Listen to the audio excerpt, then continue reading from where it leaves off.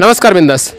M H बिंदासच्या विविध सत्रांमध्ये मी प्रवीण भाडेत आपल्यासोबत काहीतरी नवीन आगळं उपक्रम घेऊन नेहमीच आपल्यासोबत एखाद्या वि विशेष विषयाला हात घालत असतो.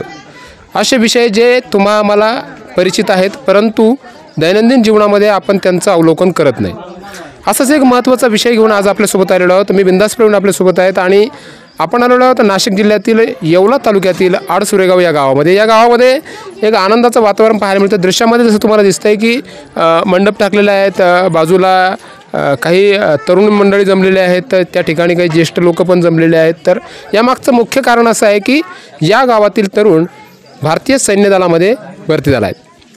तर आपल्या प्रतिकूल परिस्थितीवरती मात करत संघर्षावरती मात करत कशा पद्धतीनं त्या त्याने यश आत्मसात केलं आहे आणि या यशामध्ये नेमकं खारीचं योगदान ज्याला आपण म्हणतो खारीचा वाटा ज्याला म्हणतो तो कुणाकुणाचा मिळाला आहे हे देखील जाणून घेणार आहोत. सर्वप्रथम माझ्यासोबत ज्या तरुणाचं सिलेक्शन झालेलं आहे तर भारतीय सैन्य दलामध्ये तो तरुण आहे तर सचिन नाव आहे. दादा पूर्ण नाव सांग तुझं. सचिन प्रभाकर गायकवाड. सचिन आपल्यासोबत आहेत आणि सचिन वय किती तुझं? आहे साधारणतः किती दिव शिक्षणानंतर किती शिक्षण झाल्यानंतर तुला असं वाटलं की आपण तयारी करावी? जरी म्हणजे पहिल्यापासून वाटत होतं मला की आर्मीत जाऊन असं. मग कितवीपर्यंत शिकला? फर्स्ट इयर चालू आहे आता. फर्स्ट इयरला आहे. हो. गाईडलाईन कोणाची मिळाली तुला? दाजी आईवडील मामा. अच्छा. मित्रांनो जसं नेहमी म्हटलं जातं की अ, एक तरफ सब काही और सब कुछ और एक तरफ जोरू का भाई. असं असं या ठिकाणी ज्यांना घडवलं आहेत म्हणजे आपल्या साल्याला आपल्या मेवण्याला ज्या पद्धतीनं यश शिखरावरती पोहोचवण्यासाठी ज्यानं योगदान दिलं आहे असा हा माझाही वर्गमित्र आहे तुमच्या माहितीसह सांगतो. तर अविनाश त्रिभुवन माझ्यासोबत आहे तर एकंदरीत तुला असं का वाटलं की आपल्या परिवारातील हा एक सदस्य कुठेतरी सैन्य दलामध्ये जावा? आज आणखी एक महत्त्वाची गोष्ट आहे की अविनाशचे वडील जे पाठीमागे दिसत आहेत गोरख तात्या त्रिभुवन हे देखील माझे सैनिक आहेत. काय वाटतं तुला नेमकं? असं का वाटलं की सचिननं सैन्य दलामध्ये भरती व्हावं? अ, नमस्कार माझं नाव अविनाश गोरखनाथ त्रिभुवन. आणि अ, जसं प्रवीणने सांगितल्याबद्दल आम्ही अ, वर्गमित्र आहोत. आणि अ, सचिन पण माझा अ, मेहुणा आहे आणि पप्पा ऑलरेडी माझे अ, माजी सैनिक आहेत. तर अ, म्हणजे अविनाशने घडवलं किंवा यांनी सपोर्ट केला असं काही अ, म्हणजे मी याचं श्रेय घेणार नाही. कारण हे सगळं श्रेय आपल्या आईवडिलांचं असतं. त्यांची पुण्याई आपल्या पाठीशी असते बरोबर. आणि याच्यामध्ये त्याची स्वतःची पण मेहनत तेवढीच आहे. तर म्हणजे मी असो किंवा घरातले वडील असो किंवा त्याचे शिक्षक राजू सर असो तर आम्ही फक्त त्याच्यामध्ये एक स्पार्क निर्माण करण्याचं एक कार्य आम्ही केलं आहे म्हणजे जेवढं आम्हाला त्यांना त्याला हेल्प ते हेल्प होईल असं त्याला मार्गदर्शन आम्ही केलं आहे तर एक आज खूप आनंद वाटतो आहे की म्हणजे आमच्या परिवारातून कोणीतरी गेलं ॲज अ अग्निवीर झाला आहे तो. तर याचा सगळ्या परिवारालाच आनंद आहे आमच्या आपल्यासोबत सचिनच्या बहीण देखील या ठिकाणी उपस्थित आहेत. तर ताई काय वाटतं तुम्हाला? तुमचा भाऊ देशसेवेसाठी जातोय.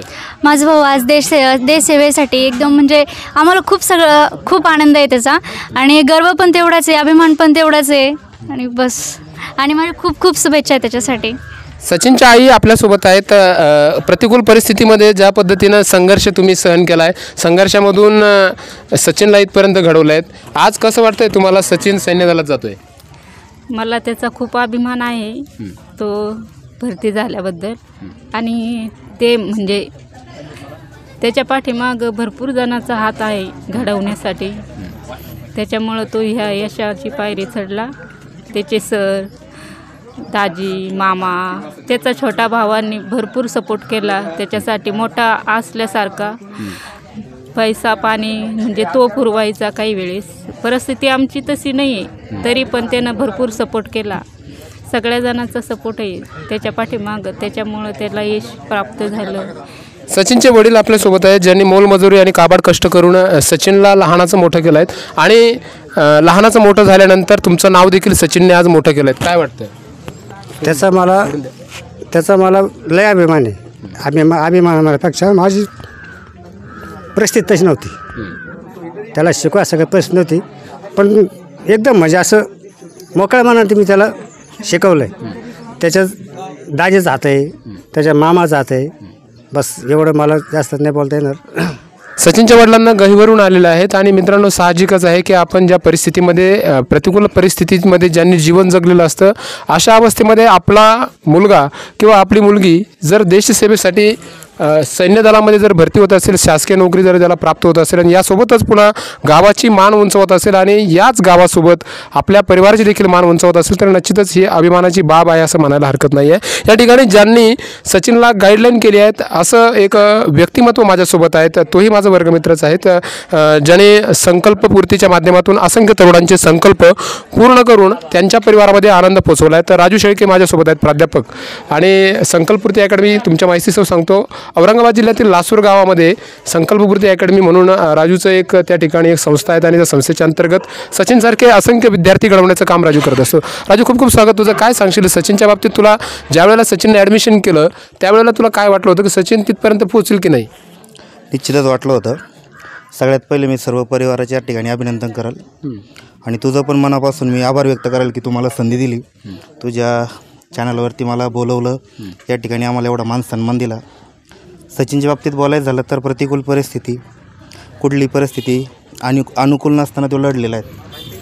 ही आपल्या ह्या गावातील आड सुरेगाव गावातील तरुणांसाठी खूप प्रेरणीय आहेत तसेच आमच्यासाठी पण खूप अभिमानाची गोष्ट आहे की आज एक गरीब घरातील मोलमजुरी करणाऱ्या कुटुंबातील एक मुलगा आम्ही कुठेतरी देश सेवेला देऊ शकलो. या ठिकाणी आम्हाला अभिमान तर आहेच परंतु प्रत्येक तरुणाला एवढंच सांगावंसं वाटतं की असल्या तरुणांचा तुम्ही आदर्श ठेवा असल्या तरुणांची तुम्ही संगत ठेवा की जे तरुण स्वतःच्या पायावर उभं राहत आहेत आणि पुढे चालून आपल्या कुटुंबाला सहकार्य करत आहेत आज कितीतरी तरुण आपण बघतो की मार्ग भरकटताना दिसत आहेत सं त्यांचं शिक्षणावरती लक्ष नाही शैक्षणिक वातावरणाकडे त्यांची वाटचाल नाही आहे तर मी या ठिकाणी या कार्यक्रमाच्या माध्यमातून तरुणांना एवढंच सांगू इच्छितो की तुम्ही होता होईल स्वतःची तसेच कुटुंबाची जबाबदारी स्वीकारायला तयार व्हा किंवा स्वतःचं शिक्षण पूर्ण करा आणि चांगलं शिक्षण घेऊन चांगल्या ठिकाणी नोकरी कशी मिळेल याचा तुम्ही गांभीर्याने विचार करा. कारण येणारे दिवस खूप बिकट असणार आहेत.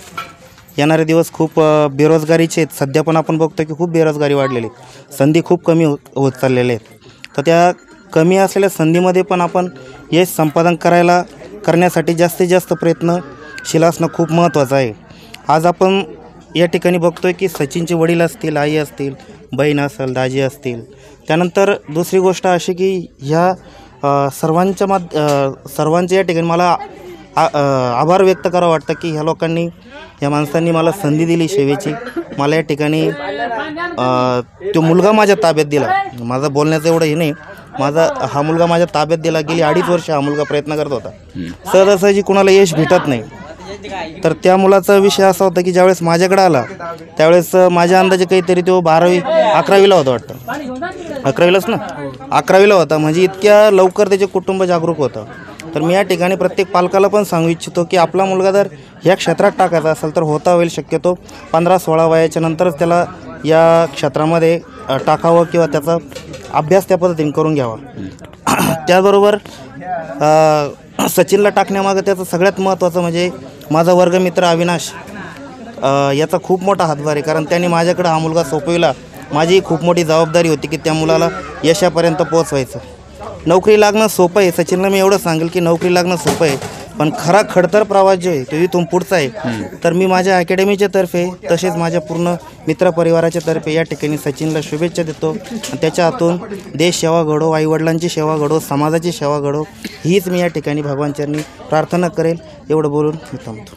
मित्रांनो कुणाचे तरी कार्यकर्ते होण्यापेक्षा आपल्या परिवाराचे करते धरते व्हा. निश्चितच आपल्या परिवारामध्ये आनंद मिळेल आणि आपल्या जीवनाला कलाटणी देणारी एक दिशा आपल्याला सापडेल. मी प्रवीण भाडत या कार्यक्रमामध्ये इथेच थांबतो. पुन्हा भेटूया. नवीन काहीतरी आगळा वेगळा उपक्रम घेऊन बिंदासपणे तुमच्यासोबत.